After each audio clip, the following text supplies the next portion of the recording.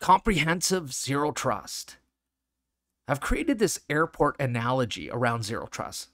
The first thing you're going to do is you're going to go to a website, most likely, and you're going to book a flight. When you book a flight, you're going to have to enter some identification, credit card information, maybe some passport details. And so that's the very first start of zero trust. Until you have the ticket, you can't move forward. Now that I have the ticket and it's the day of travel, I head over to the airport. Now, at the airport, there's going to be multiple policy decision points. The opportunity for the airport authorities to validate you as an individual that should be on that plane or in the airport. And there's multiple enforcement points, meaning that as they make a decision whether or not you pass a control point, they have the ability to enforce. That enforcement might come in the way of asking you to leave the premises because you don't have a valid ticket.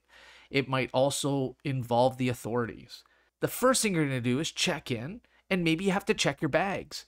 This is the first opportunity for the airport to validate who you are. And they're going to ask you for maybe some identification, maybe your passport, the ticket itself, before they check your bag in. Once they check your bag in, it's going to be assigned to you. So if the disposition of that bag changes, your access to the airport may also change. Now, once that's done, you move on, but they are going to scan your bag. And this is that first check. Even though it's not you, it's the items you carry in. So it's your profile, your posture, and whether or not you might be met with authorities later on. Now, once you're done that, you're moving through security. Now, as you go through security, they're looking at your items, they're going to scan them, they're checking your ticket, they even may scan your person. They're doing all of this to validate that there's nothing changed in regards to your trust profile when it comes to flying. And so they're doing their due diligence here, making sure that there's nothing nefarious that might take place. Now, if this doesn't pan out well, or there might be things in there to ask for secondary screening, maybe nothing wrong, but they want to do some other validation. Then you move on and they may open the bag that you've carried on. They might inspect it. They're looking for things that might be nefarious, but they're also looking for things that may have triggered the initial alarm that is a false positive. Now, once you get past this, and let's assume you're in Canada and you're going through the US, you're going to go through US customs. Now, again, the ticket's checked the person's checked. They're doing background checks potentially. They're looking at the details of the trip. They're asking you information about the hotel and where you're staying and how long. They're scrutinizing here. Now you can see there's multiple policy decision points up to this point and the opportunity to enforce or control the individual from moving further along in the process. Now we're at US Customs Secondary, potentially for some reason. And again, it could be nothing other than they want to do a secondary screening, checking that posture. They're making sure that you are who you say you are and you're safe to come into the country.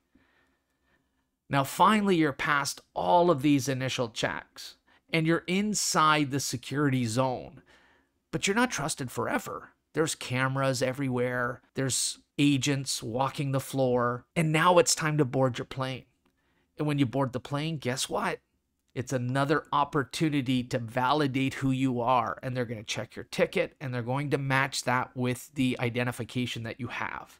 Now, if you get past that, fantastic, you're moving on. Seems like a lot of work, but it's fairly transparent for the most part. We're used to it. We know these checks and balances are in place. You may even get on the plane and they may call your name. See this time and time again. Who is X, Y, or Z? Can you raise your hand or push the button? They come back and they do another validation. Are you the right person? Do you have the ticket? Are you in the right seat, etc. So that's my zero trust analogy. Now, when it comes to Cisco, we also have multiple policy decision points, the opportunity to control if we need to add any enforcement at any point in time. So at the top, we've got policy decision points, and we have identity services engine, so network admission control on steroids. And this is going to use policy to make decisions the posture of the device, the uh, versions, the individual that's tied to the asset, the identity store that it's reaching out to, potentially the location. It's making a decision on whether or not you're going to pass and get connected to the network. And that network's going to be wired or wireless or VPN. And that's a single policy decision point that's enforcing at each one of those areas wired, wireless, and VPN. And so now I have an opportunity to authenticate the individual, authenticate their device, and give them access to the network. And so now we're looking at zero trust access. It could be agent or agentless, it's least privilege. Again, you got network access or network admission control. You can now start driving towards microsegmentation and putting in those additional controls within the environment dynamically. You can posture and profile, you got user and machine authentication, and then multi factor support as well. With VPN, again, the same thing. It shouldn't change because you're connecting differently. You're going to use the same policy decision point to validate zero trust, to make sure that you're providing least privilege.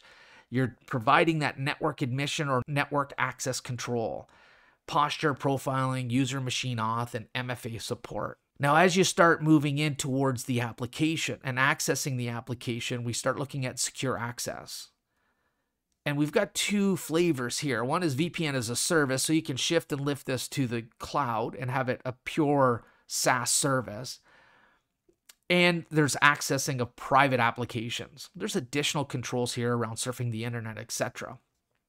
But in regards to accessing the environment, again, zero trust access, least privileged, network admission or access control, posture profiling, user machine auth, multi factor authentication. That's to get access to legacy based applications that may not suit private application using a zero trust network access functionality. And as we transition to private applications, it should be agnostic to the application. All ports and all protocols should be supported.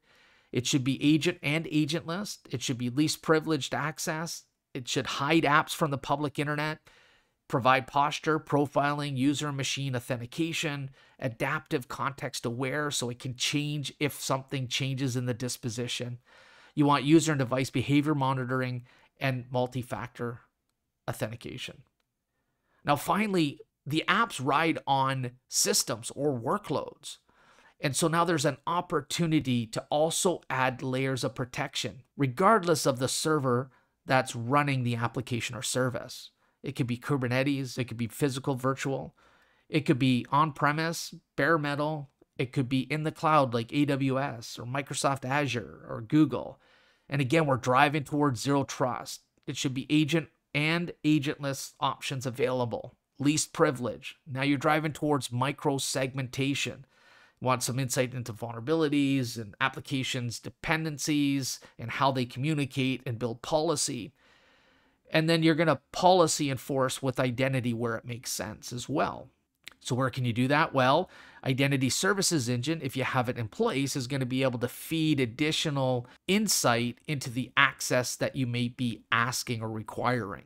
And so, for secure access, as an example, if you're doing VPN as a service, we can leverage ISE like we do on the wired, wireless, and VPN side to authenticate using identity providers like Azure, Active Directory, and many others. Also, Secure Workload can take in those identifiers and use them to build user based controls within the workload themselves. So instead of having something that's layer 3, 4, and even 7 based controls, we can add identity for those user based access to those services as well, providing a comprehensive zero trust outcome. And then you've got the collection of capabilities that feed into this. This could be Cisco or otherwise.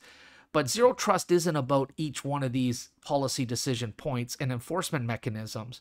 You're still leveraging things like IPS to make sure you scrutinize the packets because you don't trust those either. Even though they got authenticated and authorized and they're on the network, you're probably still running them through IPS and doing inspection and doing TLS decrypt, or uh, in our case, at Cisco using encrypted visibility engine, uh, not having to do full decryption to determine if something is bad, but many options are available to you. The one thing that's critically important here is maintaining zero trust throughout the entire life of the session. And the one thing that Cisco's done is built in Cisco Identity Intelligence. which also includes identity threat detection and response. And so that is part of secure access. You get that when you when you leverage Cisco Secure Access. You also get it if you leverage Cisco Extended Detection and Response. And you also get it with Cisco Duo. So there's multiple ways of leveraging this, but it's not unique to Cisco. It it ties into other identity providers. As an example, Azure. So it ties into these different identity providers so you get a holistic view of identity across the board.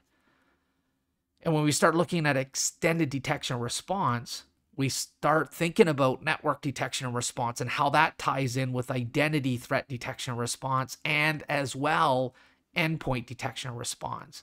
And this could be Cisco or third party. It should be agnostic, the, the, the platform that drives the extended capability. And then extended detection response ties everything together you bring in that network telemetry. You bring in that email detection and response capability. You bring in the identity so you understand the identities.